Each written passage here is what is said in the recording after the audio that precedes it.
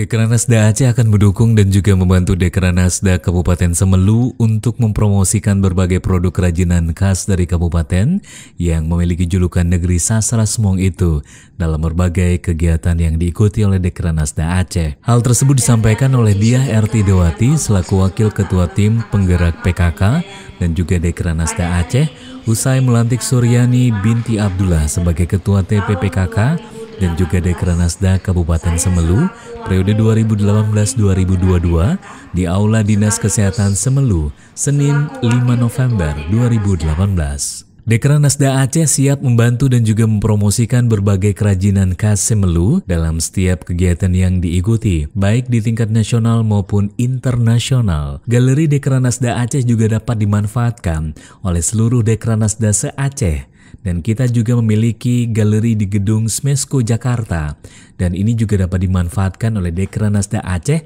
kata dia RT Dawati. Dia RT juga mengapresiasi kegiatan PKK dan juga Dekranasda Semelu yang sudah berjalan sangat baik. Pada periode lalu TP PKK Semelu cukup aktif memberikan penyuluhan kesehatan kepada masyarakat, menghidupkan kembali posyandu, mengembangkan PAUD, dan juga berbagai kegiatan lainnya. Dosen Fakultas Teknik Unsia itu juga berpesan agar seluruh pengurus PKK dan juga Dekranasda terus mengkampanyekan program kedua lembaga tersebut sehingga masyarakat memahami keberadaan, tujuan dan juga kegiatan PKK serta Dekranasda.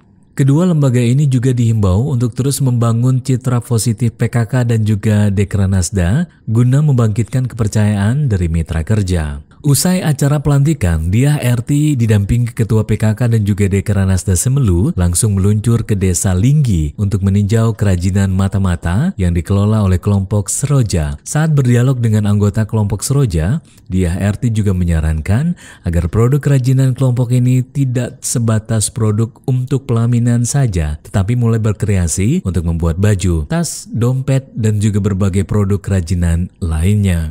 Kita berada di Desa Linggi, Simelu, yang merupakan desa binaan dari Dekranasda.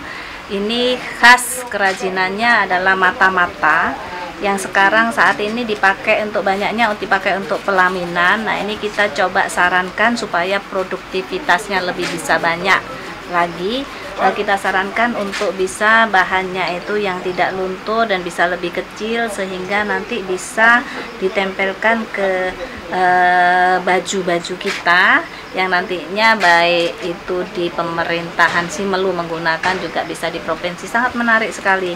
Uh, pembuatannya cukup rumit ini karena ditempel merupakan tempel-tempelan dari bahan-bahan perca uh, tetapi sangat cantik jadinya dengan warna-warni simelu yang khas. Ini memang kain berca. Ya, mudah-mudahan ini bisa diterima dan uh, nantinya bisa dijalankan oleh ibu-ibu di sini.